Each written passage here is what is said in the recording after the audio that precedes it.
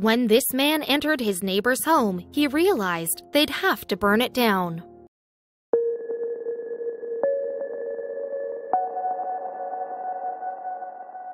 Moving into a new town and into a new home is always an exciting experience. At least, that's what Kevin Burns thought when he moved to California. He expected to head to the Sunshine State and enjoy the waves, as well as new friends and neighbors. However, after moving, the young man learned a hard truth of life. Even the most beautiful communities have secrets they hide.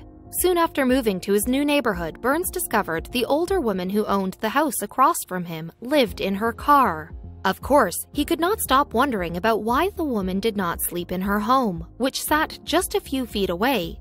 Soon enough, the young man would solve the mystery and expose a lot more. When Kevin Burns moved to California, he believed the house across the street was simply abandoned. However, after about a year, Burns realized that an elderly woman lived in the car parked in front of the house. Despite living right across the street, he had never introduced himself or even started a conversation with the woman. To Burns, it seemed that she wanted to be left alone. Still, Burns could not help but wonder about the woman.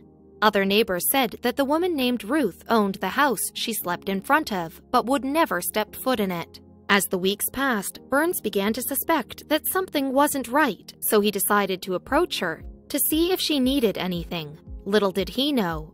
Not only would he become her friend, but also her hero. One morning, after an unusually cold night, Burns decided to check on Ruth as he passed by her car. When he did, Ruth was not only awake, but felt up to starting a brief conversation with her young neighbor, and that's how a wonderful little friendship began. Each day that week, Burns stopped by the car and enjoyed a small conversation with Ruth, learning a little more about the peculiar woman.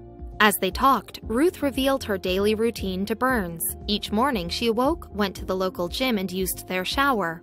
During the day, due to her situation, she would eat almost exclusively fast food. Then Ruth fell asleep in front of her house every night. While she would not say why she slept in a car, the woman obviously felt embarrassed by the situation. Something was clearly wrong. One morning, Burns decided to take a better look at Ruth's house. What he saw shocked him. He found many broken windows, boards, and blinds, as well as signs of mold. The home looked entirely neglected, left in total ruin. That made Burns think, did Ruth simply need some help restoring her home?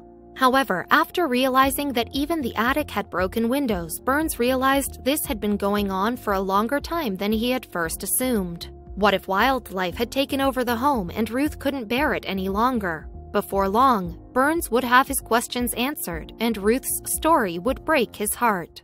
The day started like any other. Kevin Burns planned on stopping by Ruth's car on his way to work for a short chat. However, when he arrived, he found his friend crying. Even worse, when Burns tried to ask her what was wrong, Ruth would not or could not answer. She simply continued frantically looking for something in the many plastic bags she stored in her car. Finally, after minutes of searching, Ruth told Burns that she had lost something of great importance to her. As she explained, the day Ruth moved into her car, she gathered up everything important to her and brought it along in plastic bags. Now, though, it seemed she had left something inside the house. Still, Ruth had no intention of ever setting foot in that place again.